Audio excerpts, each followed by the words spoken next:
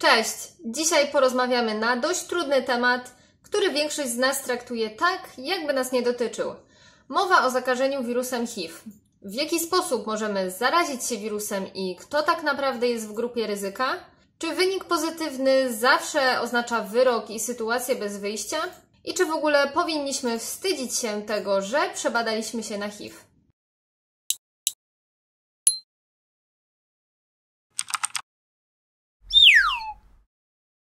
Zakażenie HIV oznacza, że w organizmie człowieka znajduje się wirus, który namnaża się i niszczy układ odpornościowy, który po pewnym czasie przestaje chronić organizm przed chorobami i na pozór niegroźnymi infekcjami, doprowadzając w ten sposób do rozwoju choroby AIDS, czyli zespołu nabytego niedoboru odporności. Skoro już wiemy, czym jest HIV, to w takim razie kiedy powinniśmy sprawdzić, czy jesteśmy zarażeni?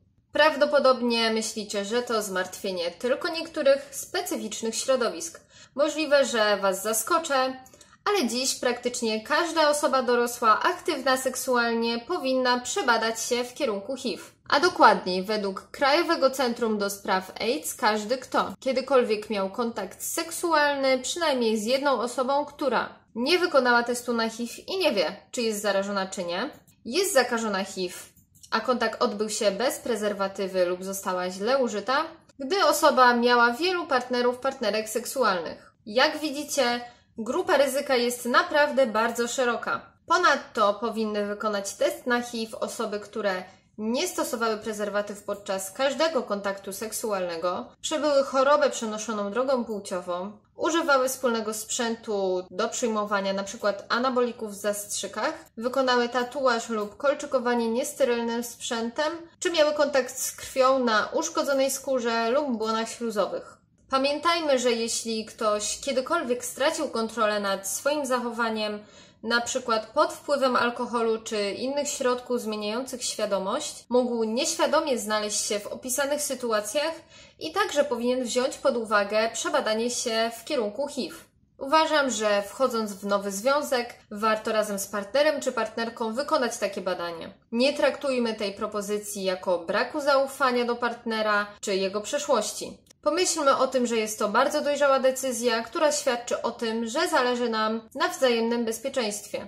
Również lekarz-ginekolog powinien zaproponować kobiecie starającej się o dziecko lub będącej już w ciąży dwukrotne wykonanie testu na HIV przed 10 tygodniem i między 33 a 36 tygodniem ciąży. Jest to o tyle istotne, że wirus przenika przez łożysko i do mleka matki, przez co dziecko może zarazić się tym wirusem. Dlatego należy rozpocząć odpowiednie leczenie, żeby zminimalizować ryzyko zakażenia dziecka. Kiedy najlepiej wykonać test na HIV?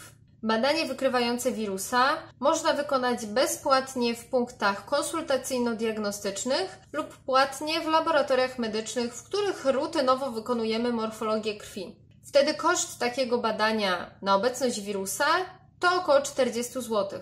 Możemy wykonać je o każdej porze dnia, nie musimy być na czczo. Jednak badanie najlepiej wykonać nie wcześniej niż po 12 tygodniach od sytuacji, podczas której mogło dojść do zakażenia. Istnieją też takie szybkie testy, do których wystarczy tylko nakucie na palcu, jednak są one o wiele mniej czułe od takiego klasycznego badania laboratoryjnego z krwi żylnej. Czy jeśli wynik badania jest negatywny, to znaczy, że nie mam HIV? Tak, pod warunkiem, że w ciągu ostatnich 12 godzin przed wykonaniem testu nie znaleźliśmy się w sytuacji, która mogłaby doprowadzić do zakażenia.